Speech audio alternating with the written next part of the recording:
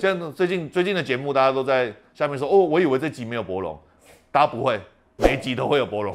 有人给我这个北海道斗士队出的王博龙加油旗。伯龙，你是客家人吗？不要再消费客家人了。伯龙，我是客家人啊，客家人很讲 CP 值的，客家之神惩罚你，害你脚受伤啊。王伯龙，虽然火腿队帮你做了一张莫名其妙的旗帜，但我们都还是爱你的。王伯龙，虽然我知道你是万丹来的，日本的红肉饼很难吃，对不对？忍下去，加油。博龙今天真的是不太行，希望博龙明年在北海道可以打得很好，让我们客家花布的光芒闪耀在北海道的大地上。北海道出博龙便当改成梅干扣肉，梅干扣肉饭，然后那个旁边的三格是客家小炒。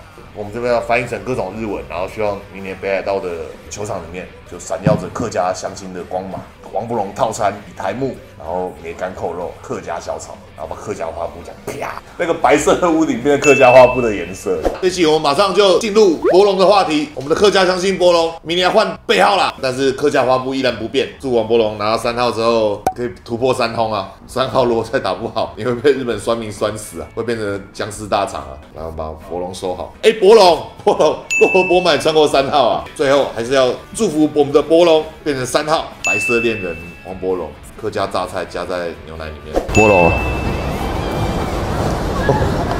博龙，博龙，这插队了，一球干一杯就可以插队哦，百分之百被打。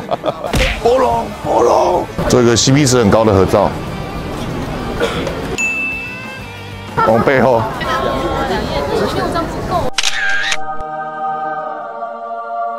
客家相亲大合集。那你觉得一个如果在台湾打击很好的外野手，到日本去打球，比较会容易遇到的问题是什么？对啊，拿过拿过三冠王的球员，你觉得比较常会遇到的问题这是陷阱题吗？背后的问题吗？背后选错了吧？还是食物的问题？还是翻译的问题？要不要推荐你自己？我不会讲日文的。我们我们在这节目常常开你学长的玩笑。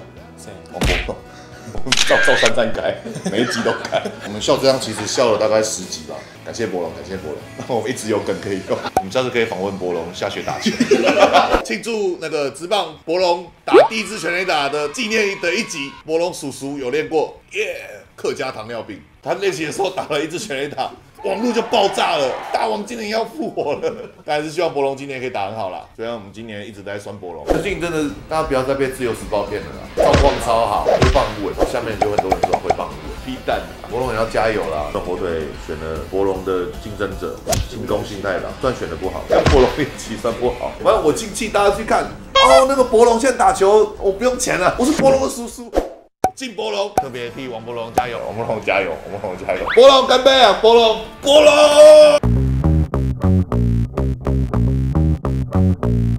哟野球干一杯的朋友，在干杯之前，记得到安利某运动吧订阅，还有按小铃铛，开启你美好的饮酒未来。Drinking，Cheers。